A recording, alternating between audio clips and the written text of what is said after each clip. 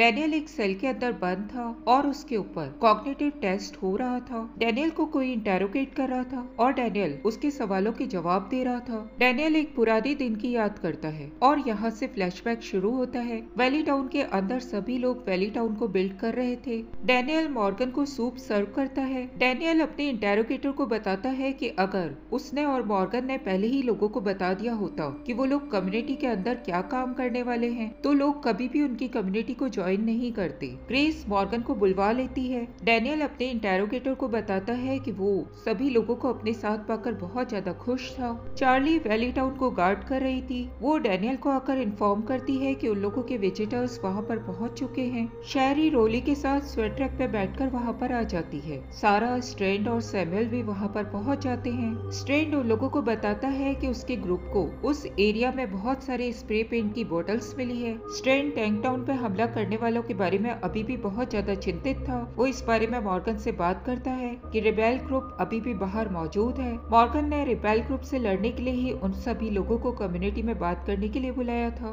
Daniel अपने interrogator को बताता है कि उस दिन के बाद से बहुत कुछ बदल गया था। ग्रेस डैनियल को अपनी फीलिंग बताती है और डैनियल उसकी बेबी को फील करता है। डैनियल अपने इंटेरोगेटर को बताता है कि वो वैली टाउन को एक ऐसी कम्युनिटी के रूप में ग्रो करना चाहता था, जहाँ पर ग्रेस की बेबी का फ्यूचर सिक्योर हो। डैनियल अपने इंटेरोगेटर को बताता है कि उन लोगों ने शेरी और स्ट्रेंड के ग्रुप के वैली टाउन के अंदर घुसने से पहले उन सभी लोगों के वेपन्स डिपॉजिट कर लिए थे। डैनियल इंटेरोगेटर को बताता है कि वहाँ पर उन लोगों ने हर एक वेपन को लॉग इन करके लॉक कर दिया था, जिसकी एक चाबी मॉर्गन के पास और एक चाबी डैनियल के पास थी। स्ट्रेन डैनियल के लिए स्केट मार्ट को लेकर आया था। वो उसे डैनियल को हैंड ओवर कर देता है। चार्ली मॉर्गन के पास पहुँचती है और उसे बताती है कि ग्रेस को उस वक्त उसकी मदद की ज़रूरत है। ग्रेस को बहुत ज़्यादा कॉन्ट्रेक्शन हो रहे थे। मॉर्गन और डैनियल दोनों ही उसके पास पहुँच जाते हैं। सारा ग्रेस को चेक करती है। सारा उन लोगों को बताती है कि जून को वहाँ तक पहुँचने में एक दिन का समय लगेगा। सारा को ग्रेस को चेक करने के लिए एक फेटल मॉनिटर की ज़रूरत थी। मॉर्गन फेटल मॉनिटर की लोकेशन जानता था। मॉर्गन डैनियल को वैली टाउन का ध्यान रखने के लिए कहता है और फेटल मॉनिटर को लेने के लिए स्वेट ट्रक को लेकर वहाँ से चला जाता है।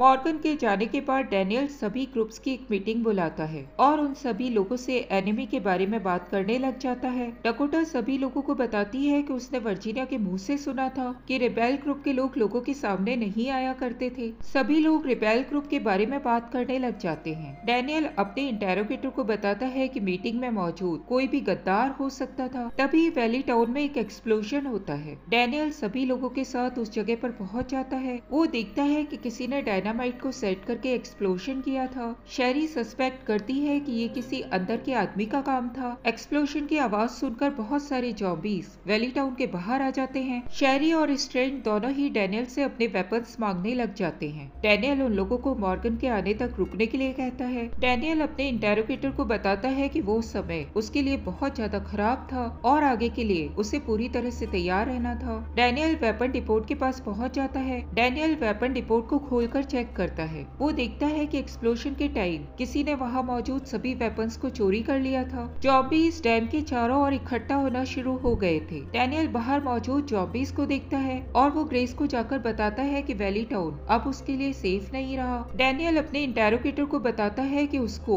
उस वक्त वेपन्स ढूँढने की ज़रूरत थी क्योंकि उन लोगों को जॉम्बीज का सामना करना था। डैनियल चार्ली के साथ मिलकर सभी लोगों के टेंट में वेपन्स को खोजने लग जाता है। चार्ली वेपन्स को खोजने के लिए रोली के टेंट पे पहुँच जाती है। रोली चार्ली को अपने टेंट पे देखकर चिल्लाने लग जाता है। डैनियल चार्ली को एक एक्सक्यूज देकर बचा लेता है। डैनियल अपने इंटेरोगेटर को बताता है कि वो वेपन्स को खोजने लग गया था और उसने ग्रेस की सेफ्टी के लिए उसे चार्ली के साथ फिशिंग शैक तक भेज दिया था। जॉम्बीज वैली टाउन के गेट को तोड़ते हुए एंट्रेंस तक पहुँच चुके थे। स्ट्रेड अपनी गन निकाल कर उन जॉम्बीज को मारने लग जाता है। डैनियल अपने इंटेरोगेटर के सामने कबूल करता है कि उसी ने कुछ जॉम्बीज को टनल गेट के एंट्रेंस से अंदर आने दिया था, जिससे कि वो वेपन चुराने वाले को पकड़ सके, क्योंकि जॉम्बीज को देखकर कोई ना कोई अपने वेपन को यूज़ करता। डैनियल स्ट्रेन को गन चलाते हुए देखता है और वो स्ट्रेन के पास जाकर उससे वेपन्स की चोरी के बारे में बात करता है। डैनियल तुरंत ही स्ट्रेन को एक सेल के अंदर बंद कर देता है और वो उससे बाकी वेपन्स के बारे में पूछने लग जाता है।